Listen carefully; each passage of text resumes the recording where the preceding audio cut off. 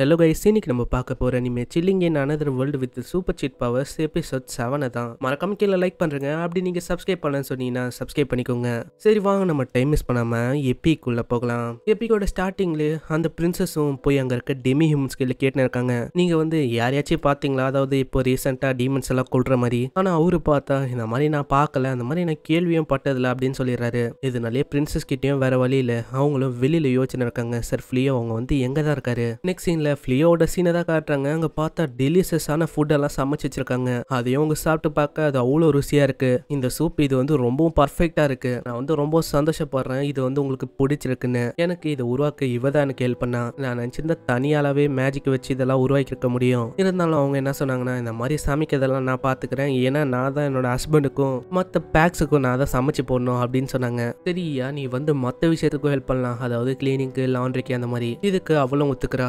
அதுக்கப்புறம் அங்கே இருக்க எல்லாருமே யோசிக்கிறாங்க இது எல்லாத்தையும் இவங்களே பாத்துக்கினா அப்போ நம்மளோட நிலைமை என்ன ஆகும்? அப்போ நம்ம எதுவுமே பண்ணக்கூடாதா? அப்படின்னு அவங்க ரொம்ப சோகமாயிடுறாங்க. ஏன்னா அவங்களுக்குன்னு இந்த கொஞ்சம் நஞ்ச வேலையும் இவங்க எடுத்துக்கினாங்க. இந்த சைடு அவளும் இன்னொரு ஒரு டிஷ் எடுத்துன்னு வந்து சொல்றா எக்ஸால்டட் ஒன் இந்தாங்க இதை ட்ரை பண்ணுங்க. அது என்ன பொது வார்த்தை? அது யாரை நீ அப்படி சொல்ற? அதுவா? உங்களை தான் சரி ஏதோ ஒன்று ஆமா எல்லாருமே எதுக்கு ரொம்ப சோகமா இருக்கீங்க? ஆனா அவங்க பார்த்தா ரொம்ப சோகமா அப்படியே சாப்பாடே சாப்பிடாம உட்காந்துருக்காங்க இதுக்கப்புறம் அந்த பொண்ணை தான் காட்டுறாங்க. அவ பார்த்தா பயங்கரமா வேலை செய்ய ஆரம்பிக்கிறா. நான் வந்து அந்த ஜீனி கூட இதுக்கெல்லாம் நான் தோத்து போக மாட்டேன். ஃபீல்டுன்னு வந்து தான் நான் தான். அதனால நான் வேலை செய்யணும். இப்படின்னு இவ்வளோ அங்கே இருக்க அந்த மாஸ்டரும் சேர்ந்து பயங்கரமாக வேலை செய்கிறாங்க இந்த சைடு இதே மாதிரி இன்னொரு ஒரு பொண்ணும் அங்கே வேலை செய்யுது என்னால் அட்லீஸ்ட் இதுலயாச்சும் கை கொடுக்க முடியும். ஹாஸ் எல்லாத்தையும் நல்லாவே நல்லா பார்த்துக்க முடியும். ஸோ என்னால் முடிஞ்சதை நான் பண்ண போகிறேன் இப்படி இவ்வளோ சொல்ல இருக்கும்போது அந்த ஆசம் நக்க ஆரம்பிக்குதா? அவ்வளோ ஒரு மாதிரி ஆகிறா ஏன்னா அது எல்லாத்துலையும் நக்கின்னு இருக்கு. நீங்கள் நக்கிறத நிறுத்துங்க. ஆனாலும் அது நக்கின்னு இருக்கு. இந்த சைடு பெலினோவும் அவளோட அப்பாவையும் பிரதரை பற்றியும் யோசனை இருக்கா. நான் ஒண்டி நைட்ஸை நான் மேஜா மாறுறதுக்கு முன்னாடி லெஃப்ட் ஆகாம இருந்திருந்தா உங்களை மாதிரி மாறி இருப்பேன். ஆனால் எனக்கு இதுக்கு மேலேயும் நான் வந்து இன்னமும் ஸ்ட்ராங்காக மானும் எனக்கு எந்த விதமான அவசியமும் இல்லை. நான் ஏன் இப்படி சொல்கிறேன்னா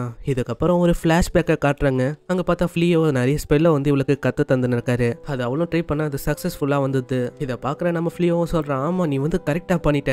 அந்த ஒரே ஒரு விஷயம். அதனால தான் ஃப்ளீயோ வந்து எனக்கு நிறையவே மேஜிக்கில் எஃபோர்ட் போட்டு எனக்கு கற்று தராரு. அதனால அவர் கற்று தரது எல்லாத்தையும் நான் வேஸ்ட்டாக போக விட மாட்டேன். ஏன்னா நான் இன்னமும் நிறைய ஸ்பெல்ஸை யூஸ் பண்ணணும்னு எனக்கு ஒரு ஆசை.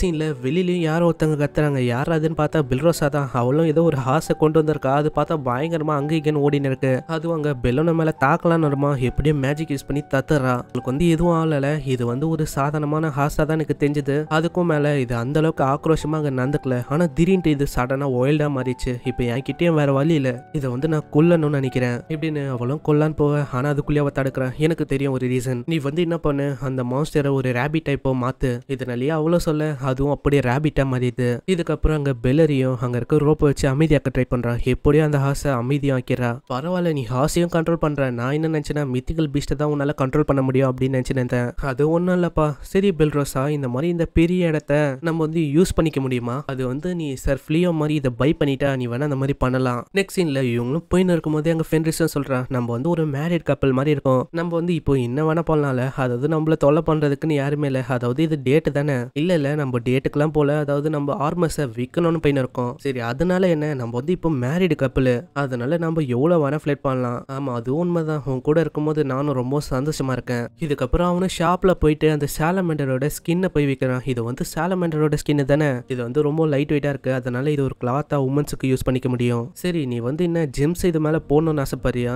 ஆ நல்லா தான் இருக்கும். இதனாலே அவரும் ஜிம்ஸ் எல்லாம் எடுத்து காட்டுறாரு. இது பாரு இது ரொம்ப ரேரானது ஓ அப்படியா? இதை தான் ஜிம் ஸ்டோன்னு சொல்லுவாங்க. இப்படி இவங்களும் இதை பார்த்து பார்க்கும்போது ஃபென்ரிஸ் அதை பார்த்து யோசிக்கிறேன். அவர் ஒர்க் பண்ணும்போது அவரோட ஃபேஸ் அது இன்னமும் கூலா இருக்கு. இப்படி இவ்வளோ யோசனை இருக்கும்போது திடீர்னு பார்த்தா அங்கே க்ளவுட்ஸ் எல்லாம் மறைக்குது. இந்த சைடு அந்த சோல்ஜர்ஸ் வந்து இன்னமும் நம்ம ஃப்ளீயோவை தேடி கண்டுபிடிக்கல. அங்கேயும் அந்த க்ளவுட்ஸ் எல்லாம் மறையுது. திடீர்னு வானத்துல இருந்து ஏதோ ஒரு மாஸ்டரும் சமன் ஆகுது. வெளியில ஃப்ளியோக்கும் ஒன்றும் புரியல. என்ன ஆச்சு? அதுவா? இங்கே ஏதோ ஒரு பெரிய மாஸ்டர் வந்து திடீர்னு சமன் ஆச்சு. அதுவும் ஸ்கைலேருந்து ஓ அப்படியா? அப்போனா ஒரு பெரிய பிரச்சனை. டவுன்ல இருக்க மக்கள் எல்லாருமே ஆபத்தில் இருக்காங்க. நம்ம தான் ஹெல்ப் பண்ணணும். இதனால இவங்களும் போக ஆரம்பிக்க. அங்கே பார்த்தா அந்த ஜீனியும் வந்தது. ஆமாம் நீ வந்து இங்கே என்ன பண்ணிருக்க? அதுவா நான் வந்து ஒரு ஈவலோட இதை சென்ஸ் பண்ணேன். அதனால தான் நான் இங்க வந்தேன். எனக்கு தெரிஞ்ச வரைக்கும் அந்த மாஸ்டர் அது வந்து ஹியூமன் இந்த விச் தான் அவனை அப்படி மாத்திருக்கு. என்னது ஒரு விச்சா இவ வந்து ஒரு விச் இவளோட பேரு டெமோனினஸ் த ஆப்ரிகார்டு இவ அந்த காலத்துல இந்த கிளைரோல்டு இந்த கிங்டம் ஆளும் போது இவ தான் ஸ்ட்ராங்கஸ்டான மேஜா இருந்தா இந்த உமன் இதால ஒண்டி தான் இந்த ஃபர்பிடனான மேஜிக்கும் பிளாக் மேஜிக்கையும் டச் பண்ண முடிஞ்சது. இவ ஒரே ஒருத்தி தான் அப்போ இந்த ஒரு ஹீரோவை டிஃபிட் பண்ணா. என்னதான் டிஃபிட் பண்ணியிருந்தாலும் இவளோட பாடியோ ஒரு மாதிரி இல்லாம ஆயிடுச்சு. என்னதான் அவளோட பாடி அழிஞ்சு போயிருந்தாலும் அவளோட ஆசைகள் அது அழியல. அந்த மக்கள் வந்து என்ன ஸ்வால்ல சீல் பண்ணாங்க? இவளை அந்த கீழே இருக்க அந்த கல்லுல சீல் பண்ணாங்க. என்ன ரிலீஸ் பண்ணும்போது அவளும் ரிலீஸ் ஆயிட்டா? அதாவது மொத்த ஃபால்ட்டுமே என் மேலன்னு தான் சொல்லலாம்.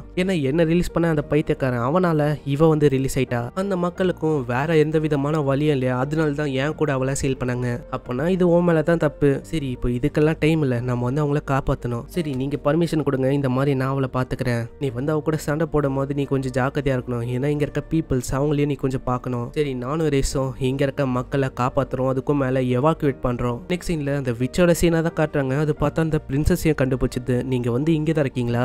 உன்னை நான் கொள்றதுக்கு தான் வந்திருக்கேன். ஐயோ பாவம். இந்த மாதிரி உன்னை ப்ரொடெக்ட் பண்ணுறதுக்கு ஒரே ஒருத்தனா? அவனுக்கும் ஏற்கனவே கால்லாம் நடுங்குது. நீ வந்து திரும்ப வந்துட்டியா? நீ திரும்ப ஒருவன் நான் எதிர்பார்க்கல. ஆனால் உன்னோட பயமான அந்த ஃபேஸு அது எனக்கு பார்க்கறதுக்கு ரொம்ப சந்தோஷமா இருக்கு. ஆனால் ஏதோ ஒன்று நான் உன்னை கொல்ல போகிறேன் அப்படின்னு அவ்வளோ தாக்கலாம் தாக்கலான்னு திடீர்னு பார்த்தா யாரோ ஒருத்தங்க ப்ரொடெக்ட் பண்ணுறாங்க யார் அதுன்னு பார்த்தா நம்ம ஜீனி தான். நீ திரும்ப வந்துட்டியா? என்னோட ஃபன்னை இன்ட்ராக்ட் பண்ணுறதுக்கு இருக்கு. ஆமா நான் இருக்கிற வரைக்கும் யாரு மேலேயும் உன்னால கை வைக்க முடியாது. ஏன்னா இது அவரோட கட்டளை. ஓ அப்படியா? அப்பனா பாத்துக்கலாம். இப்படின்னு அவ்வளோ ஒரு ஸ்பெல்ல போட. ஆனா அதுக்குள்ளேயே ஜீனி பார்த்தா பிளாக் பண்ணிது உன்னால எப்படி பிளாக் பண்ண முடியும்? இந்த வேர்ல்டுல எந்த விதமான ஸ்பெல்லும் இல்ல. என் மேல ஒர்க் ஆகுற மாதிரி. ஓ அப்படியா? அப்பனா பாத்துடலாம். அப்படின்னு இன்னொரு ஒரு ஸ்பெல்ல போடுறா. அதுவும் அசால்ட்டாவே ரிஃப்ளெக்ட் பண்ணிது அப்போனா ஒரு மேஜிக் காம்போ அதுவே டைரக்டா அட்டாக் பண்ணாலும் அவளுக்கு ஒண்ணுமே ஆகாது. நான் வந்து இதுக்கெல்லாம் விட்டு கொடுக்க மாட்டேன். உன்ன மாதிரி ஒரு ஜீனி கீழே தோத்து போகணுமா வாய்ப்பே இல்ல. நீ விஷ கிராண்ட் பண்ணி அதை கூட உன்னால நிறைவேற்ற முடியல. உன்கிட்ட நான் தோத்து போனோமா என்ன? இப்படி சொல்லிட்டு இன்னொரு ஒரு மேஜிக் யூஸ் பண்ண அந்த மேஜிக்னால அந்த தரையெல்லாம் அப்படியே உடஞ்சு அந்த மாஸ்டர் இன்னமும் பெருசாக ஆரம்பிக்குது. அங்க இதை பார்த்து இருக்க பிரின்சஸ்லாம் ரொம்ப ஷாக் ஆயிடுறாங்க. என்னது இது? அந்த மாஸ்டர் இன்னமும் ரேம்பேஜ் அளவுக்கு பெருசா மாறிச்சு அந்த மாஸ்டரும் அள்ளிக்கலான்னு வரும்போது திடீர்னு பார்த்தா அது சிறுசா மாற ஆரம்பிக்குது.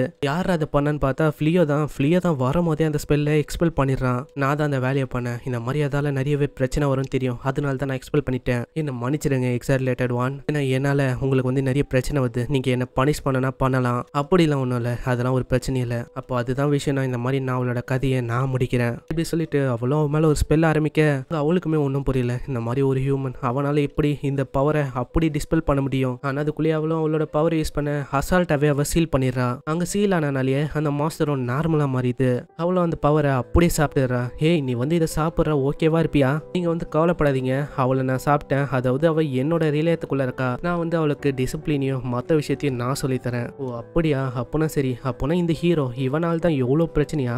இவங்கள நம்ம என்ன பண்ணுறது இவங்களையா? இவங்கள வந்து அந்த நைட்ஸ் பார்த்துப்பாங்க. நம்ம மறு வேலையை பார்க்க வேண்டியதுதான். இதுக்கப்புறம் இவங்களும் போக ஆரம்பிக்கும் போது அங்கே அந்த பிரின்சஸும் கேட்குறாங்க ஆமாம் நீங்கள் தான் சார் ஃப்ளியோவா நான் தான் இந்த மேஜிக்கல் கிங்டம் ஆஃப் கிளைரோட பிரின்சஸ் எலிசபெத் நான் உங்களை சந்திச்சதில் ரொம்ப சந்தோஷப்படுறேன். இதுக்கு முன்னாடி நடந்ததுக்கு நான் மன்னிப்பு கேட்குறேன் ஏன்னா எல்லாத்துக்கும் காரணம் இந்த ஹீரோ தான். இவனை வந்து இதுக்காக தான் நாங்கள் டிஸ்பெல் பண்ணோம். ஆனால் நாங்கள் வந்து ஒரு விஷயத்துக்காக தான் இங்கே வந்தோம். அதாவது இந்த டவுனுக்கு வந்து வந்தது. உங்களை தேடி தான் காடு வந்து எங்களுக்கு வழிகாட்டி உங்களை சந்திக்க வச்ச மாதிரி எங்களுக்கு இருக்கு. ஆனால் நாங்கள் என்ன ஆசைப்படுறோம்னா நீங்கள் வந்து திரும்பவும் எங்களோட பேலஸுக்கு வந்து நீங்கள் அங்கே ஒரு ட்ரூ ஹீரோவாக இருக்கணும். அதாவது பீப்புளுக்கு நீங்கள் தான் ஒரு ஹோப்பு நீங்கள் இருந்தால் அவங்களுக்கு வந்து ஒரு நம்பிக்கை கிடைக்கும். யாராச்சும் ஒருத்தங்க இருக்காங்களே ப்ரொடெக்ட் பண்ணுறதுக்குன்னு ஆனால் இருங்க. இந்த மாதிரி நான் அந்த விஷயத்துக்கு ஒத்துக்கல. ஏன்னா நீங்கள் சொல்கிறபடி பார்த்தா நீங்கள் யாரை தெரியுமா அந்த பொசிஷனில் வைக்கணும்? அதாவது அவங்க ஃபைட் பண்ணுறதுக்கு தயங்கக்கூடாது. அந்த மாதிரி ஆளுங்களை. எனக்கு வந்து அந்த மாதிரி வாழ்க்கை வேணாம். ஏன்னா என்னோட இப்போ இருக்க வாழ்க்கை அதுவே எனக்கு சூட் ஆகுது. ஏன்னா நான் ஒரு பீஸ்ஃபுல்லான வாழ்க்கை வாழ்க்கையை வாழணும். அதுவும் இவ கூட.